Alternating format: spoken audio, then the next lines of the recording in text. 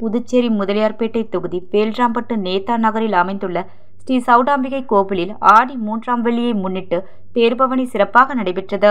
பாரதிய ஜனதா கட்சி நகர மாவட்ட பொறுப்பாளர் செல்வ கணபதி தேரை வடம் பிடித்து தொடக்கி வைத்தார்.